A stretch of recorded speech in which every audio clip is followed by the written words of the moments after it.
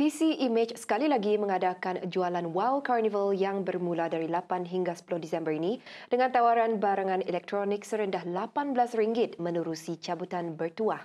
Pengurus pemasaran cawangan Lauyat Rizwan Hanafiah berkata pelbagai variasi model komputer riba, tablet, monitor dan aksesori yang ditawarkan mengikut keperluan pelanggan sama ada untuk kegunaan harian, bekerja dan permainan video.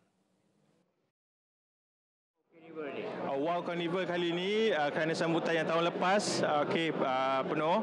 So kali ini kita mengadakan di Starling Mall uh, Daman Sara selama 3 hari bermula 8 hingga 10. Uh, business hours 10 hingga 10. Alright, kita ada pelbagai uh, barangan yang kali ini lebih banyak seperti uh, audio, kita ada PC gaming, kita ada pelbagai lagi barangan sehingga diskaun 80%. Okay.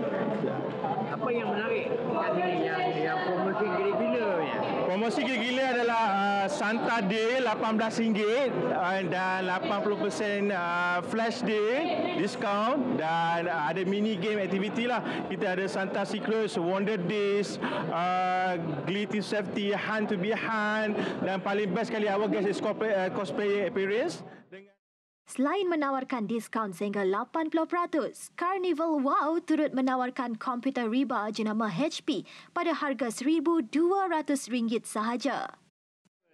Carnival ni best lah sebab banyak sale barang-barang untuk komputer.